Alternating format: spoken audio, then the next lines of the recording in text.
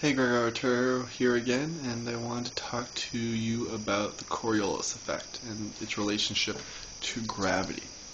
So, there. Uh, first, let's explain the Coriolis effect. So, we're looking at this planet right here, and there's a really good picture I have on my um, my uh, what's the the VX space, um, the the Wiki Vortex page we create I don't even remember its name. It's been a while since I've been on it. Just have a lot of information up on there.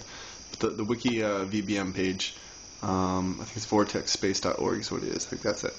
Um, I have a picture where it shows the um, all these little vortices on the northern hemisphere spinning counterclockwise, and the southern hemisphere are spinning clockwise. Um, a lot of people have had sometimes a hard time understanding how this effect is created. At the same time, how it relates to magnetism and how there's a north magnetic polarity and a south magnetic polarity. There's a null zone in between the two, um, which people usually call a diamagnetic effect. Um, so let's uh, north. Which way is north in this room? North is like this way, and south is like that way.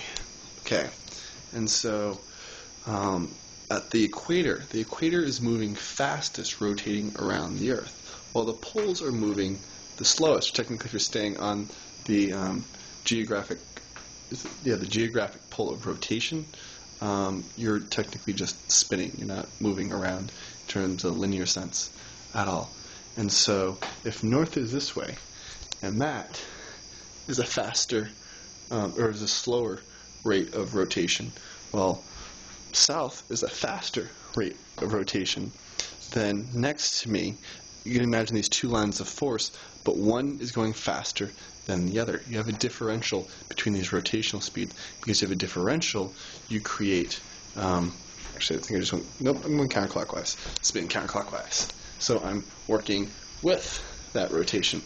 Now, uh, David Sereda, who's a friend of mine in Sedona, did this really cool video a while back, 20 minute video um, Aaron interviewing, uh, I can't think of his name at the moment, but it was the week he was leaving Lockheed Martin Skunk Works, and he shows um, an aspect of spinning this, I think it was called a lathe, um, on a table. And when it spin it counterclockwise, because he was in the northern hemisphere, it would spin for a while and stop. But when he spun it clockwise, it would slow down faster, and then it would reverse and start to go the other direction. Now, this is understanding of how opposing energies and, and same energies work together. Um, when he's spinning counterclockwise, you're just creating work. You're having two forces work in the same direction, and they add up together, and they move forward. People understand that and usually work toward being, oh, let's work together in the same energies in the same directions. But when you use two opposing energies um, against each other, such as when you spin the lathe clockwise, um, the counterclock, the Coriolis effect is slowing that down. Um, um, or, well, you speed it up, and once you speed it up, it starts to slow it down. But regardless, if there wasn't the Coriolis effect, it'd have to slow down anyway due to friction, and it creates a deceleration. Just and that deceleration has increased acceleration or increased deceleration, however you want to phrase it, from the Coriolis effect. This also relates to how a joule thief on the collapsing magnetic field, you can get excess power out of it, and you can get um, more power on the collapsing form of the energy instead of the building up form. Um, and so you could say implosion versus explosion. And so, um, in terms of sacred geometry, there's linear and cyclical aspects of our reality. Now, um, one thing our reality is dominated by is masculine thought. It's linear. And there's so many linear aspects in our reality, including how gravity has become a predominant thing. And that gravity uh, is a linear force. And then it's supposedly related to mass. To me, mass is, an, is, an, is a, a multiplier of the cause in terms of creating the effect. It is not thus the cause of the uh, phenomena itself. And so, the the, the linear aspect, the masculine, is the dominant, being a white hole. You see the white hole, it's hard to see the black hole. And so the feminine energy, the cyclical energy, is less obvious, and that is the Coriolis effect. And so what we're actually experiencing, gravity, is the linear aspect of the centripetal force of the Earth. And the Coriolis effect is a cyclical aspect of, um, of the, the centripetal force. When you combine the cyclical with the linear aspect together, you have a spiraling form of energy. And that gravity is really a spiraling form of electromagnetic energy. Um, and then there's centripetal force and centrifugal force. Now, if we apply hollow earth theory, in that the crust is a compressional point of energy around a vacuum within inside the Earth, um, that the compression of energy creates a gravitic node in the center of our crust, which is, you'd say, where the centripetal force and centrifugal force, an inward spiral centrif- cent- centrifugal, and an outward spiral, or no, the outward spiral is centrifugal, and inward spiral is centripetal. Forces meet to create a, a, a cyclical form of energy, a purely cyclical form of energy, um, which is torque. And the torque is what our, causes our planet to rotate. I mean, well, that is rotation.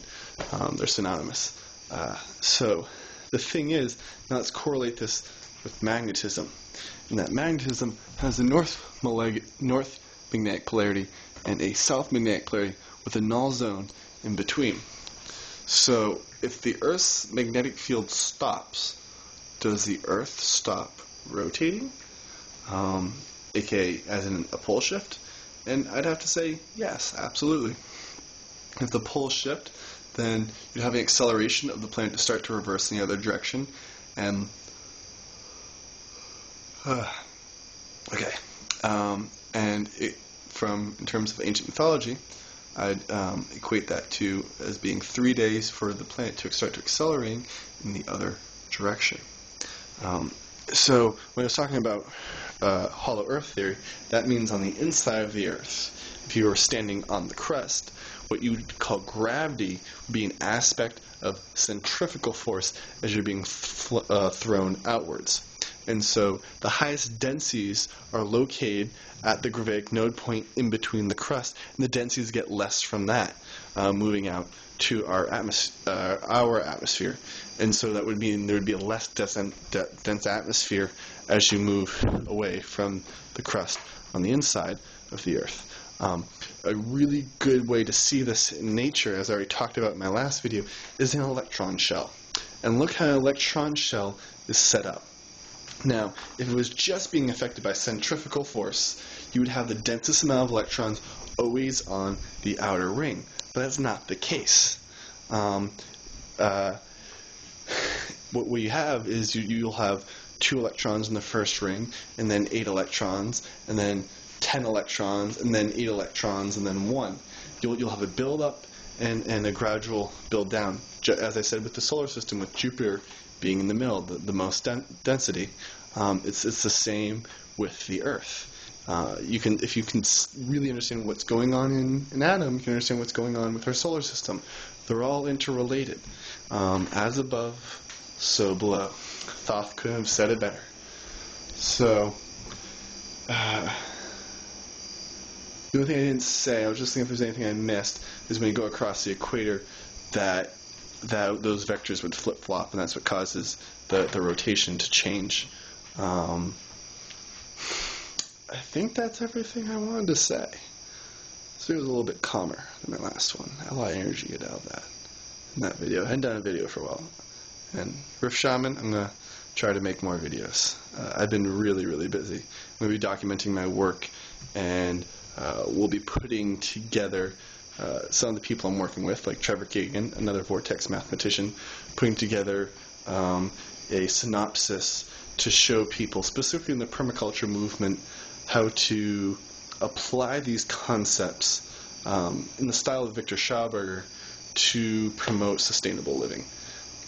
Righteous. So, adios, everyone, and uh, enjoy your world and enjoy gravity for what it is spirals and more spirals.